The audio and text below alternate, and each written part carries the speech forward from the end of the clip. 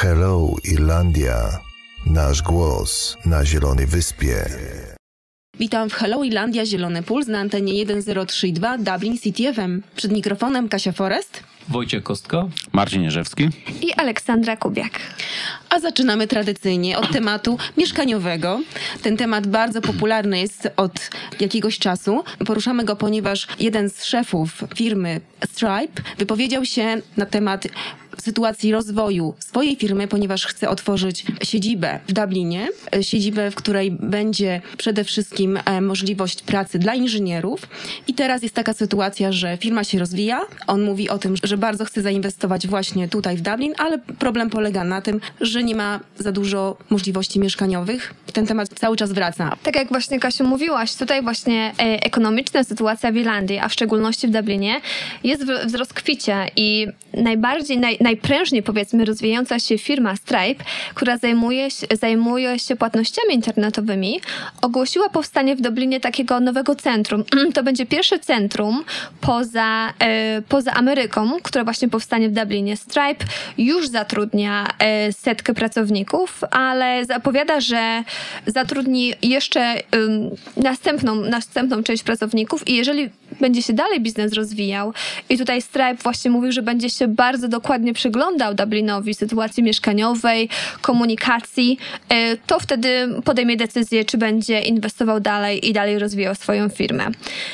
Jednak ponieważ większość inwestycji skupia się na e, Dublinie, reszta Irlandii cierpi właśnie z tego powodu. Kryzys mieszkaniowy w stolicy, czy komunikacja, która tutaj pozostawia wiele nam do życzenia, wpływa na to, że ludzie muszą mieszkać coraz dalej, e, dłużej dojeżdżać do, pracy i co wpływa na znacząco na pogorszenie satysfakcji życiowej i, zwiększa się, i zwiększenie poziomu stresu ludzi.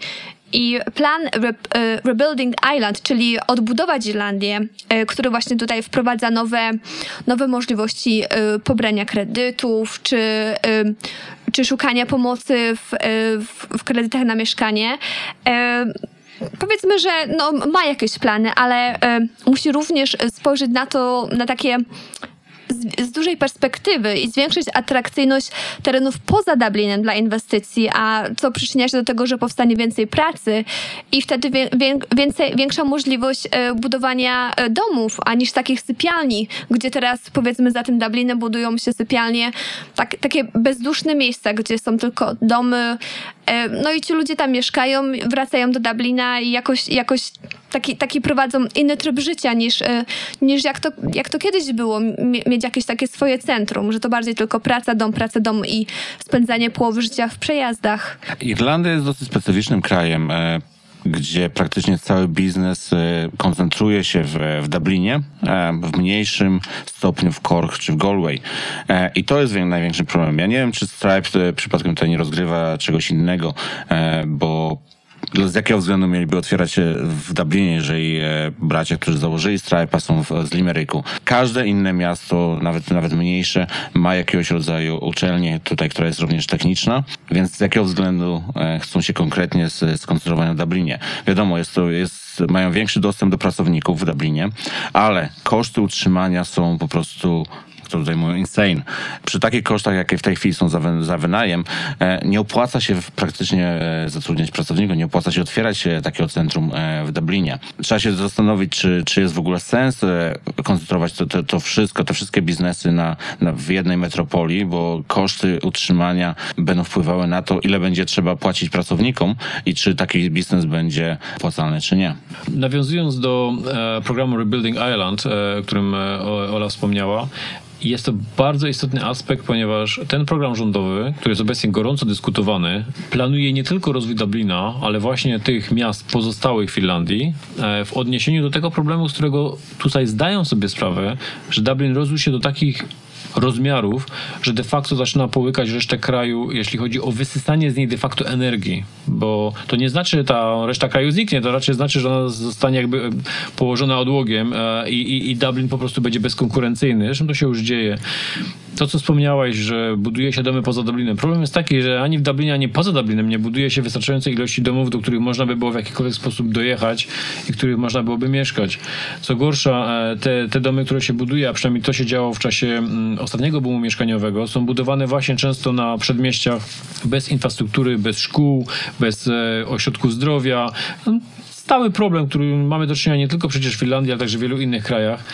E, ale mamy też pewne jaskółki obecnie, bo jak się popatrzy na Dublin, jest obecnie e, w planie, a raczej już na etapie tworzenia, olbrzymie de facto miasteczko położone na e, końcu M50 w Cherrywood i w tym, w tym miejscu obecnie, gdzie jest ostatni przystanek Luasa, buduje się miasteczko, które docelowo ma mieć około 15 do 20 tysięcy mieszkańców, ale buduje się wraz z, wraz z całą infrastrukturą, razem z e, park, parkami, sklepami, kinem, e, ośrodkami e, zdrowia i tak dalej. I są pewne jaskółki, natomiast pytanie jest takie, e, ile lat zajmie, zanim ta skala tych nowych inwestycji przyjmie taki rozmiar, że będziemy w stanie obsłużyć popyt, który się pojawił w Dublinie, bo czy nam się to podoba, czy nie, jedynym miejscem w Irlandii, gdzie rozwój jest rzeczywiście szybki, jest na obecny czas Dublin i zapewne tak zostanie. Natomiast problemem jest też to, że same prawo przestrzenne dotyczące możliwości budowania jest tak skonstruowane w Irlandii, że de facto blokuje szybki rozwój nawet na obszarach, gdzie są, gdzie jest miejsce na to, żeby budować. Bo to nie jest tak, że Dublin nie ma żadnych miejsc, gdzie można budować domy. Problem jest taki, że mamy tu do czynienia z czymś, co się po angielsku nazywa land hoarding, czyli utrzymywanie ziemi ziemi przez właścicieli z nadzieją na to, że, ich, że cena tej ziemi wzrośnie jeszcze bardziej, a w efekcie nawet jeżeli rząd chce budować mieszkania lub inwestorzy prywatni, to nie są w stanie nabyć po rozsądnych cenach ziemi, na której mogliby budować. No i koło się zamyka, bo nie ma gdzie budować, prawo jest skomplikowane, e, de facto blokuje rozwój, w efekcie mamy mało inwestycji mieszkaniowych, a w związku z tym ceny szybują e, do stratosfery. I tutaj należy sobie zadać pewnie pytanie, czy jeżeli e, nie, e, gospodarka się nadal będzie rozwijać, czy w przeciągu roku, dwóch będzie ludzie stać na to, żeby pracować w Dublinie. W tej chwili już e, ludzie płacą po tysiąc, ponad tysiąc euro za pokój to jest po prostu niewiarygodne, jeżeli, jeżeli zarabiasz 2000 e, powiedzmy, połowę z tego wydajesz na, na, na pokój, mieszkając z innymi ludźmi. Więc czy za kilka lat, czy, czy e, w tej chwili widzimy pewną rozbieżność pomiędzy e, szybkością wzrostu płac, a szybkością wzrostu Czynsz. rentów, czynszów. Więc w tym momencie, czy będzie, nasz, będzie ludzi stać na to, żeby pracować w Dublinie, czy też wszyscy może zaczną się wyprowadzać na wioski, które z kolei, co z kolei również podniesie czynsze tam. Teraz powstała ta możliwość dla kredytobiorców, ponieważ rząd e, zaproponował e, kredyty mieszkaniowe nisko oprocentowane, więc chce umożliwić właśnie ludziom, żeby mieli łatwiejszy dostęp do mieszkań. Co myślicie o tej propozycji rządu? To może najpierw e, kilka słów o na czym to polega, bo myślę, że trzeba najpierw technikalia przedstawić słuchaczom, a, a później faktycznie możemy podyskutować, czy ten pomysł ma sens. De facto nie jest to nowa propozycja, jest to przepakowany produkt, który już wcześniej był dostępny, ale obecnie sprzedawany w trochę nowej formule. Ogólna zasada jest taka, że osoby, które mm, zarabiają e, do 75 tysięcy euro rocznie i które jednocześnie, e, jednocześnie są first time buyers, czyli nigdy wcześniej domu nie kupiły, nie korzystały z różnego rodzaju ulg e, podatkowych z, z, związanych z tego typu zakupem nowego domu czy mieszkania, mają prawo do ubiegania się o taki kredyt, który po pierwsze e, jest e, sta, e, o stałym oprocentowaniu na 25 lat, co tu jest bardzo, co jest rzadkością w Finlandii, bo z reguły banki nie oferują więcej niż 10 lat. Po drugie, ten kredyt jest na poziomie 2%, co oczywiście jest wielkością dużo niższą niż standardowe kredyty w Irlandii. Chodzi o kredyty mieszkaniowe oczywiście, które obecnie powiedzmy średnio oscylują wokół 3-3,5%, czyli mamy tu dosyć dużą różnicę e, wielkości. E, natomiast e, to proponuje rząd. Pytanie jest takie, czy to jest rozwiązanie na bolączkę, jaką się borykamy, czyli brak e, możliwości zakupu e, mieszkania przez e, przeciętnego Irlandczyka. W tej chwili mamy problem zasadniczo z dwoma rzeczami. Pierwsza, dostępność kredytów, druga, dostępność mieszkań. Więc pytanie, czy dostępność kredytów wpłynie na zwiększenie dostępności mieszkań, które są na rynku? Bo to jest to, co winduje cenę w tej chwili. Druga rzecz, w jakiej wysokości będą przyznawane? W tej chwili zdaje się, jest to 3,5-krotność e, rocznych zarobków. Jeżeli to się nie zmieni, to przy standardowych zarobkach e, zwykłego zjadacza chleba, nawet e, rodziny, która jest wliczona w to, dostaniesz ile? 170, 200 tysięcy. W tej chwili za taką cenę już ciężko cokolwiek kupić. Więc czy taki kredyt e, zmieni cokolwiek, jeżeli po pierwsze nie będzie na rynku mieszkań, które można kupić, po drugie, jeżeli te mieszkania będą droższe niż kredyt, który będzie przyznawany. I to, jest, to są pytania najważniejsze. Ja czytałam bardzo interesujący artykuł dwa tygodnie temu właśnie w Irish Time, gdzie wypowiadał się profesor. I on mówił, że problemem Irlandii nie jest nawet brak mieszkań, bo jeżeli się nagle z tych mieszkań zacznie budować więcej, to nie zmieni się, bo przez noc te mieszkania pójdą o 60%. Problemem jest to, że tutaj nie ma miesz ilości mieszkań, które należałyby po prostu do... y, do Dublina, jako, jako tutaj do, y, do, do gminy.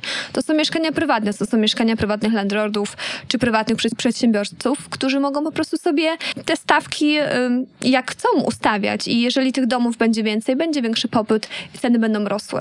Więc problemem tu jest, żeby po prostu budować więcej domów, które należą, należą, należą do gminy, że to są domy, gdzie, gdzie po prostu zwykła osoba będzie mogła je kupić, że to będzie stawka powiedzmy Trzeba mieć strategię jakąś na to przede wszystkim. Czyli ja, ja powiem inaczej, bo ja się nie do końca zgodzę, bo jednak mimo wszystko rynek na pewnym etapie e, no, musi zaskoczyć. Jeżeli się wybuduje powiedzmy 100 tysięcy mieszkań dodatkowych w samym Dublinie, no to ewidentnie będzie, będzie Podaż, popyt. presja na, na, na rynek, aby, aby e, w wyniku tego, że podaż, e, że popyt zelżeje, bo część ludzi zaspokoi swoją potrzebę, to ceny się trochę unormują. Po drugie, to nie jest tak, że rynek jest całkowicie nieregulowany, bo przecież musimy pamiętać, że w Dublinie rząd narzucił maksymalną wysokość czynszów. Nie można sobie podnosić obecnie czynszów e, do woli.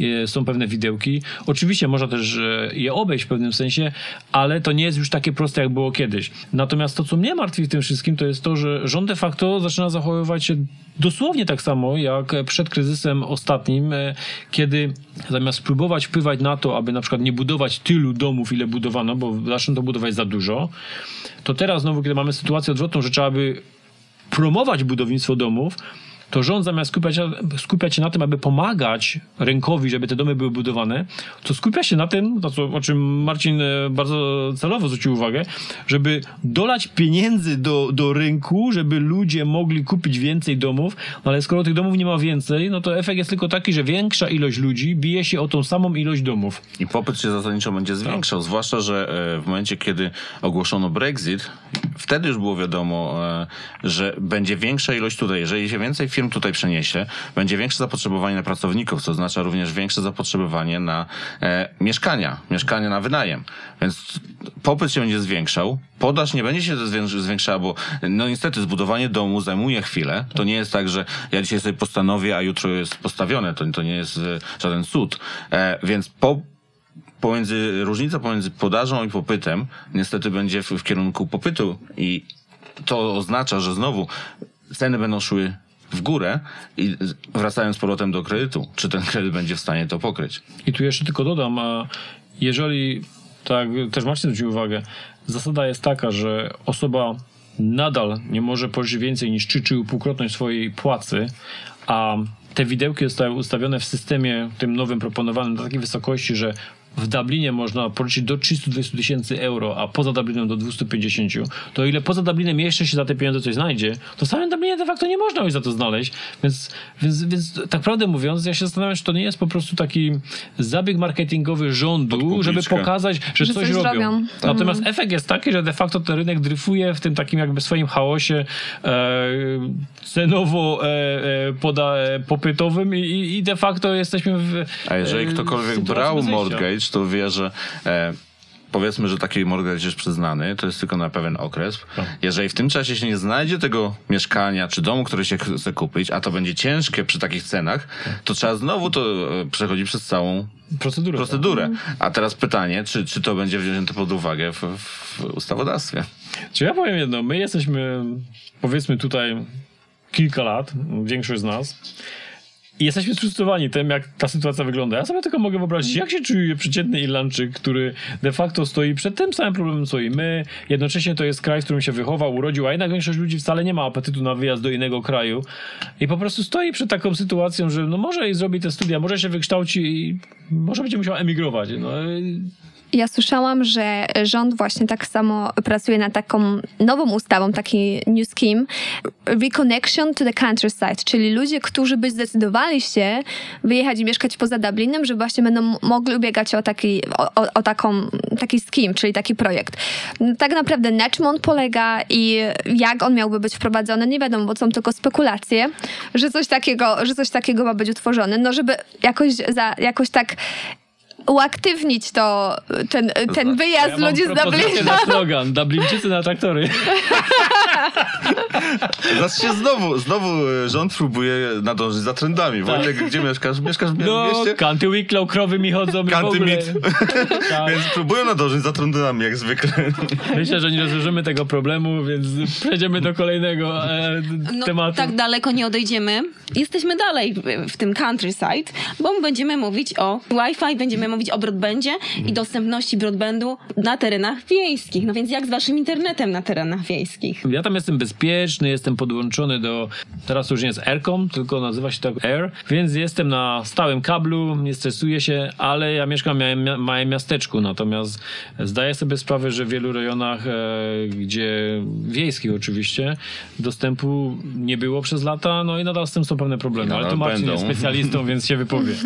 E, Dla mnie to jest temat zdecydowanie interesujący z tego względu, że pracuję w firmie, która się tym zajmuje, więc e, taki krótki background do tego, żeby dać. W 2012 roku, w sierpniu, z tego co pamiętam, e, rząd ogłosił wielki plan dostarczenia e, szybkiego internetu do terenów wiejskich. E, według oceny rządu było to około 800 tysięcy domów, które powinny zostać podłączone. E, To było w 2012 roku. E, Do 2018 to powinno być już skończone. E, Niestety jeszcze się nie rozpoczęło. Więc opóźnienia są olbrzymie.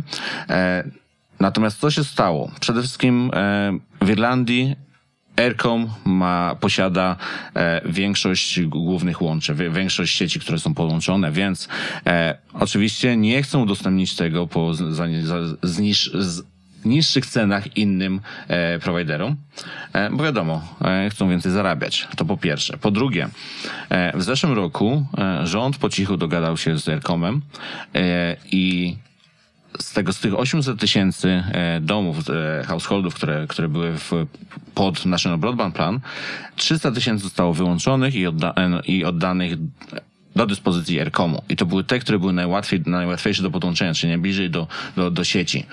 E, pozostałe 500 tysięcy, czyli te, które były o wiele droższe do podłączenia, pozostały pod National Broadband Plan. Więc e, w tym roku Aircom zdecydował się wycofać z tego planu wiadomo, e, nie chcą inwestować, e, te pozostałe 500 tysięcy jest, e, są jak gdyby mniej opłacalne. Co, na co trzeba zwrócić uwagę? Nawet jeżeli się wyjedzie z Dublina, e, do, tam gdzie ja mieszkam w Ratout, nadal są domy, gdzie dostajesz od Aircomu czy od innego prowajdera dostajesz pół mega. To jest nic ci to nie daje. Czym dalej wyjeżdżasz, tym ciężej jest coś, coś, coś takiego. Jeżeli w Dublinie mieszkasz, jeżeli podłącza się internet, jedna sieć może podłączyć na, na, na niewielkim odcinku tysiące ludzi. Wychodzisz poza Dublin, to niestety koszta podłączenia są olbrzymie. E, to, z czego ludzie sobie nie zdają sprawy, jest to, że podłączenie czegoś takiego to jest czas, to są olbrzymie pieniądze i to się musi zwrócić, to jest zwykły biznes. Ludzie oczekują internetu, ale niestety przy, przy takim e, rozłożeniu, gdzie wszystko jest skoncentrowane na Dublinie, na korku, e, ludzie nie dostaną tego. E, w związku z tym, w 2012 roku był plan na to, żeby to stworzyć, w 2018 na początku wszystko padło. E, co oznacza, że ludzie, którzy wyjeżdżają poza miasto, co jakikolwiek będzie plan na to, żeby wyjeżdżać i mieszkać poza miastem, e, niestety nie będą mieli prawdopodobnie dostępu do internetu. No to może oni też to powinni jakoś w tej swojej nowej ustawie i w tym nowym skim wziąć pod uwagę. Tak, no to ustawa właśnie Znaczy- była. To co, to, co mnie irytuje w tych dyskusjach dotyczących e, usług, bo de facto internet jest usługą publiczną. Pewne usługi zawsze będą dotowane. Oczywiście, że w pewnych rejonach internet będzie dochodowy, bezproblemowy, bo jest duże skupisko ludzkie. Natomiast jeżeli myślimy o Irlandii jako państwie, które chce być państwem który jest postrzegany jako nowoczesne, które rozwija nowe technologie i które umożliwia mieszkańcom pracę na przykład z domu, zgodnie z nowymi trendami, żeby na przykład e, te osoby nie musiały dojeżdżać do pracy po kilka godzin, to nie ma innego wyjścia, jak po prostu założyć, że tak samo jak dotujemy banki, jak upadały, tak samo jak dotujemy różnego rodzaju przedsiębiorstwa, jak na przykład Dublin Bus, tak samo trzeba po prostu wyjść z założenia, że jeżeli chcemy, żeby prywatny rynek zajął się e, internetem, to dobrze, powiemy im, stworzymy wam możliwość, żebyście nam tą usługę dostarczyli, a my wam zapłacimy, bo po to zbieramy podatki od ludzi, żeby to, co brakuje, żeby do tego, żeby ten biznes stał się dochodowy na terenach wiejskich, żeby wam to po prostu pokryć. Ale to jest kwestia konsensusu społecznego, czy my jako społeczeństwo i politycy, którzy nas reprezentują, chcą, mają wolę powiedzieć: OK, internet jest na tyle ważny dla społeczeństwa obecnie, że czy tego chcemy, czy nie, jeżeli będzie taka potrzeba, będzie dotacja rządowa, żeby to się mogło stać. Oczywiście to jest, e, to jest, to jest decyzja stricte polityczna.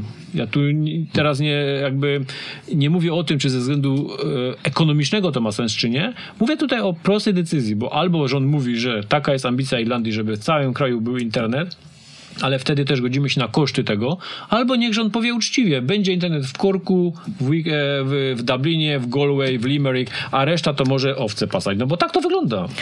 No ogólnie Irlandia tak naprawdę to właśnie tu jest problem, że nie ma zbyt dużo inwestycji w te tereny wiejskie, dlatego większość ludzi skupia się na tych dużych miastach, czy to jest Cork, czy Dublin. No i mamy te problemy z mieszkalnictwem, czy z transportem, czy nawet ze szkolnictwem teraz. Jeżeli nie będzie inwestycji i tereny wiejskie nie będą uatrakcyjniane nawet broadbandem, no to, no to będzie istniał problem i, i tego się nie rozwiąże, więc muszą pchać i muszą inwestować jednak w te tereny wiejskie, a od tego mogą zacząć.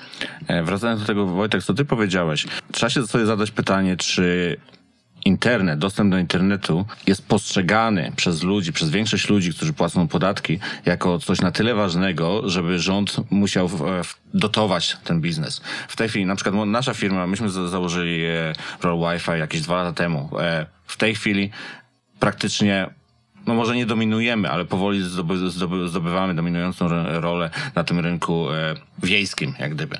Ale to jest firma prywatna, nas nikt nie dotuje e, i nie sądzę, żeby w tej chwili było takie postrzeganie wśród ludzi, że, że to jest coś na tyle ważnego. E, więc trzeba może zmienić e, sposób myślenia. E, w tej chwili internet jest coraz ważniejszy i to nie chodzi tylko o to, że dzieci będą grały, czy że Netflixa chcemy oglądać, chociaż niestety do tego w większości, ale chodzi również o to, żeby biznes się tym zainteresował, bo Niestety bez internetu w tej chwili biznes nie będzie działał. Czy, masz, czy, ma, czy to jest pub, czy to jest jakakolwiek inna firma, czy chcą przyjmować e, płatności e, kartami, czy wysłać maila, do tego potrzebny jest internet. Jeżeli nie masz internetu, e, niestety nie będziesz w stanie tego robić, ale internet nie jest na tyle ważny jak jedzenie, komunikacja, czy dostęp do wody.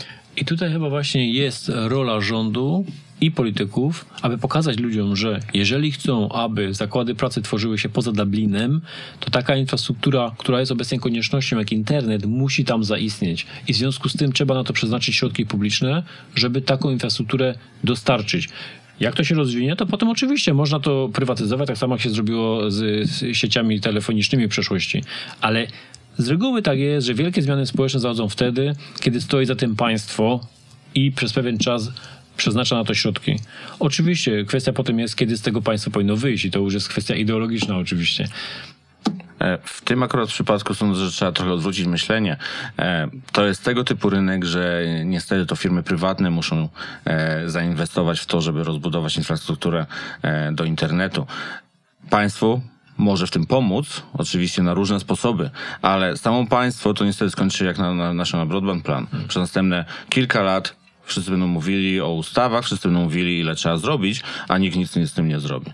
Zatem na koniec interesujący temat, myślę, zwłaszcza dla kobiet, bo to ich dotyczy przede wszystkim. Rząd zgodził się na referendum w sprawie zmiany konstytucji, aby zmienić prawo aborcyjne. Niełatwo wytłumaczyć, dlaczego Irlandia do tej pory zwlekała ze zmianami w konstytucji, a dokładnie w ósmej poprawce e, do konstytucji. W tym momencie rząd e, chce zaproponować dostęp do legalnej aborcji. Obecnie restrykcyjne przepisy nie przystają do przekonań e, członków społeczeństwa, które stało się w międzyczasie dosyć liberalne. Obowiązujące prawo zezwala co prawda na aborcję, gdy życie kobiety jest zagrożone, jednak pracę lekarzy w krytycznych sytuacjach paraliżuje to, że płód i matka to według prawa równorzędne jednostki. Właśnie ta poprawka do konstytucji, ósma poprawka, która miała miejsce po referendum w 1983 roku, o tym stanowi. No i właśnie, teraz mamy propozycję rządu, żeby to zmienić. Ola, co ty myślisz o tym?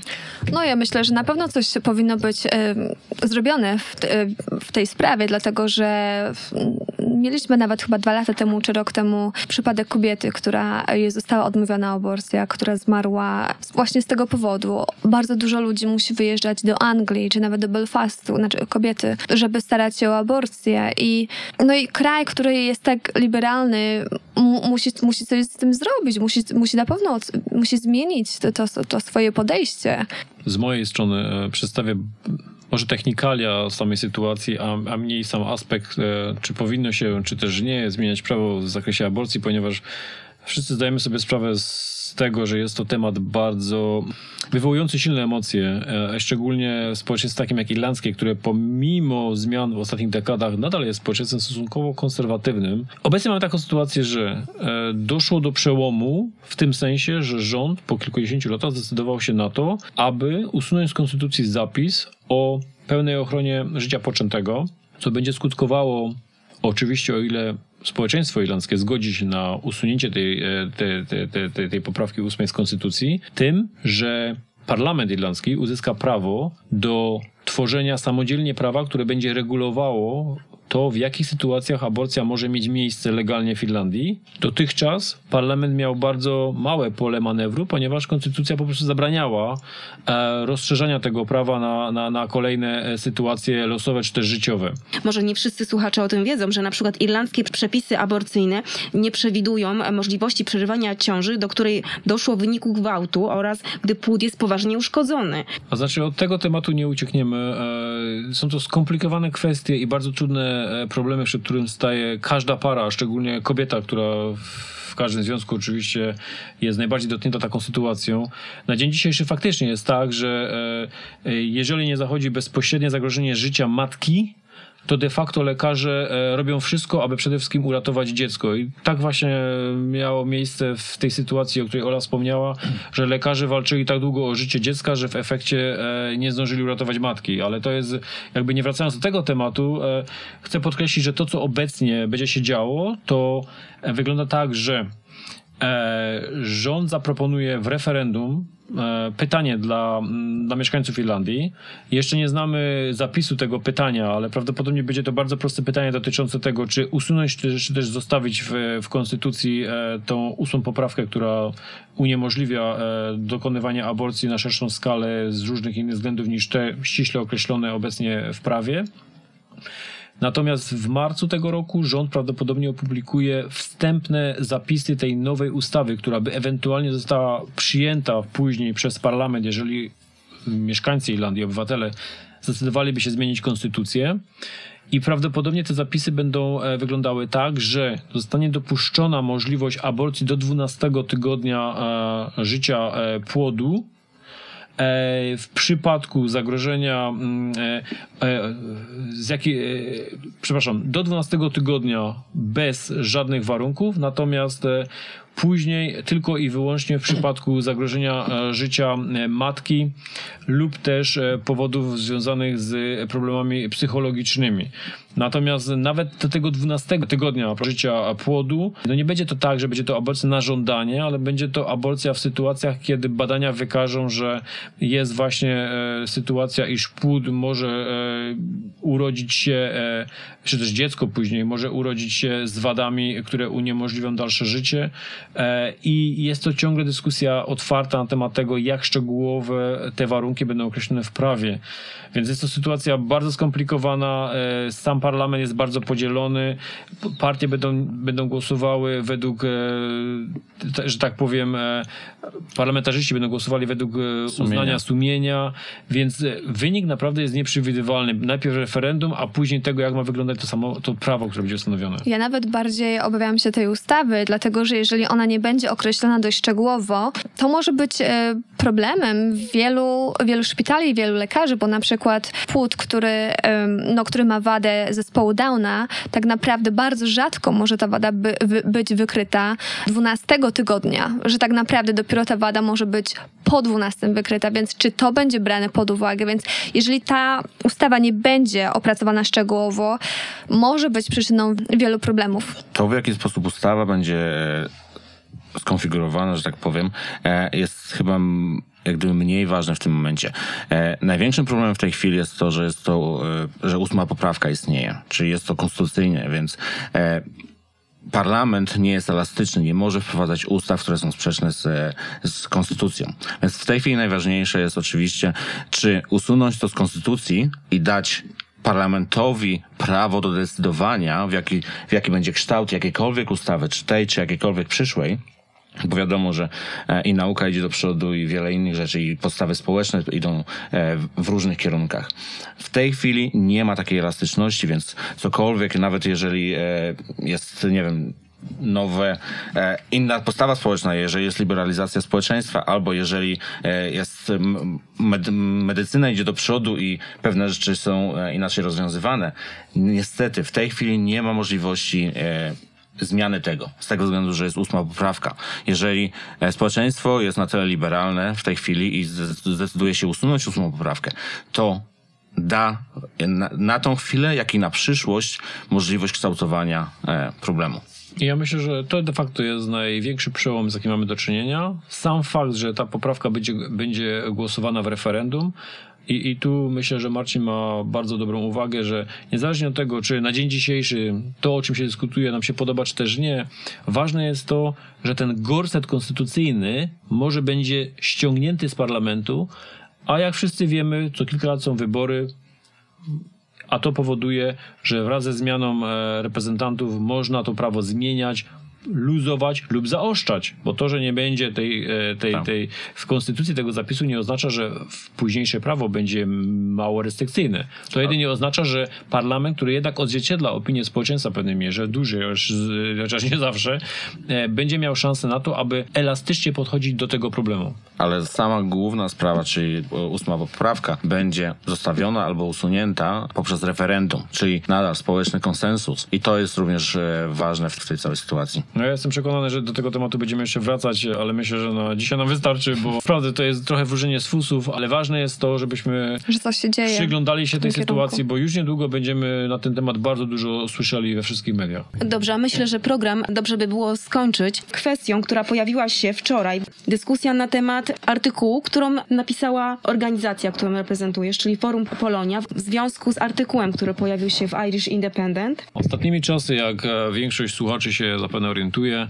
W prasie irlandzkiej, ale także w prasie światowej e, wiele się mówi o Polsce w związku z sytuacją dotyczącą e, nowej ustawy o Instytucie Pamięci Narodowej, która wprowadzała zapisy umożliwiające ściganie e, i karanie za pomawianie narodu polskiego i państwa polskiego za współudział w Holokauście. Abstrahując od tego, na ile zapisy tej ustawy były dobrze mm, zapisane lub też nie, bo tutaj jak wiemy w Polsce toczy się olbrzymia i gorąca debata na ten temat. Zapisy tej ustawy spotkały się e, z bardzo ostrą i nieprzychylną reakcją e, wielu krajów, między innymi oczywiście tutaj trzeba wspomnieć Stanów Zjednoczonych, Izraela, Francji, także różnego rodzaju opiniotwórczych e, mediów na świecie.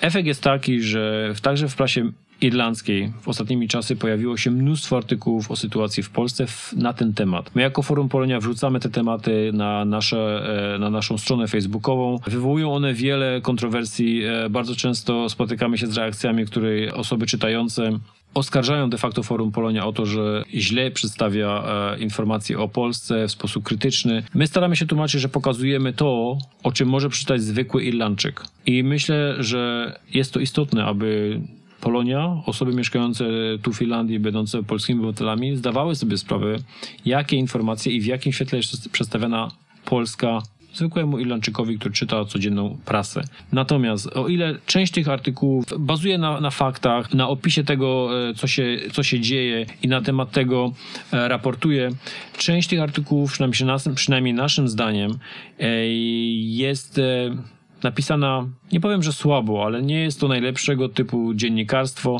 E, często e, jest to ślizganie się po temacie i w efekcie naszym zdaniem czasami dochodzi do e, sformułowania opinii, które są po części krzywdzące dla Polski lub Polaków.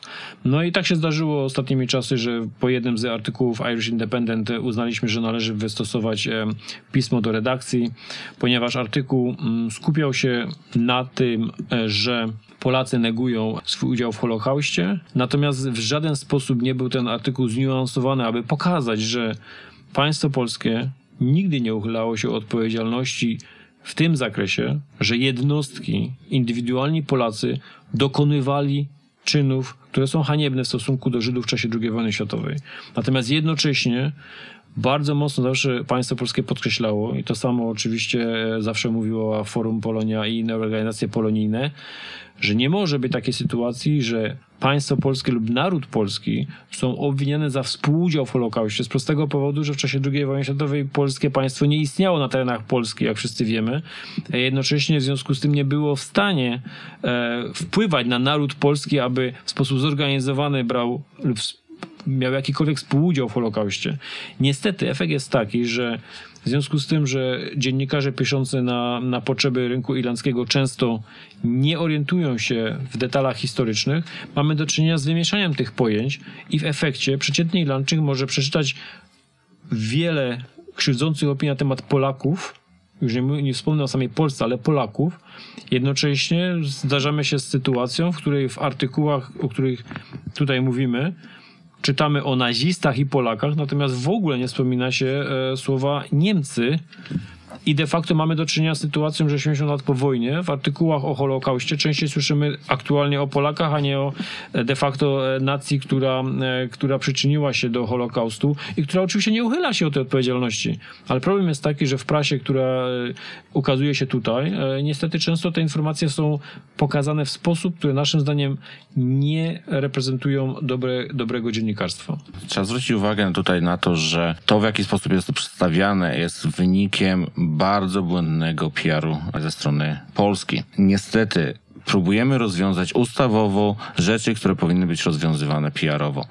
Wspomniałeś, że nikt nie używa słowa niemieckie obozy śmierci, są nazistowskie. To nie jest kwestia tego, że Niemcy mają ustawę, która będzie skazywała ciebie za to, że powiesz, że niemieckie, tylko to jest kwestia odpowiedniego PR-u, które jest robione. Niestety w takich sprawach trzeba mieć trochę subtelności, a nie tylko, o ja, ja będę tutaj krzyczał i będę wyżej podskakiwał i wtedy wszyscy się zamkną. Bo to, to, to nie o to w tym wszystkim chodzi. I w tej chwili niestety sprawiliśmy, że na świecie jesteśmy postrzegani bardzo źle. Wygląda to, jakbyśmy chcieli wybierać własne sumienie, nie, nie postrzegać tego, co myśmy robili, co się zdarzało niestety. Wszystkim się zdarzało w każdym kraju. Jak wspomniałeś, to nie było na, na poziomie państwowym, tylko na poziomie jednostkowym. I w tej chwili ustawa, która jest wprowadzana, nawet nie chodzi o to, czy jest źle, czy dobrze napisana, jest postrzegana na świecie w bardzo zły sposób, co nam utrudni jakiekolwiek relacje z innymi, bo niestety i Francja się już wypowiedziała, Irlandia, która jest bardzo stonowana zwykle, jeżeli chodzi o, zmiany w Polsce, bardzo głośno zaczęła w prasie to pokazywać. Nie wspomnę o Izraelu, są mistrzami, jeżeli chodzi o PR, jeżeli zwłaszcza związany z Holokaustem. Więc w tym momencie zaczęliśmy być postrzegani jako ktoś, kto neguje prawdę, a nie ktoś, kto próbuje bronić własnego dobrego imienia. No pozostaje mieć nadzieję, że, że rząd polski podejdzie do sprawy w sposób e, konsensualny, aczkolwiek biorąc pod uwagę sposób prowadzenia polityki w Polsce, możemy, możemy mieć pewne wątpliwości, co się uda. Natomiast my jako Forum Polonia po prostu wyraziliśmy swoją opinię, bo uważamy, że jako największa społeczność imigrancka w Irlandii powinniśmy bronić dobrego imienia Polski wtedy, kiedy artykuły nie są zgodne z faktami. Natomiast to nie znaczy, że my poczuwamy się do tego, że mamy i musimy bronić Polski w każdym przypadku, bo wtedy, kiedy rząd polski popełnia pomyłki, to przecież nie wstydzimy się tego powiedzieć, bo tu nie chodzi o to, aby ślepo bronić, ale chodzi o to, aby bronić dobrego imienia Polaków, tych także tych, którzy mieszkają tu w Finlandii. bronić dobrego imienia Polaków oraz informować Polaków. Także taka jest też misja Hello Irlandia, Zielony Puls. Dziękujemy Wam, drodzy słuchacze, za bycie z nami, słuchanie nas. Wszystkie informacje możecie oczywiście znaleźć na naszej stronie facebookowej. Dzisiaj to już wszystko. Żegnamy się z Wami. Kasia Forest. Wojciech Kostka. Marcin Jerzewski. I Aleksandra Kubiak. Zawsze, gdy potrzebuję energii lub gdy mam ochotę na relaks, zaparzam filiżankę doskonałej i aromatycznej kawy Meastello. Kawa Meastelo prosto z Brazylii na jedno kliknięcie www.meastelo.com Kawa Maestelo, partnerem Hello Irlandia.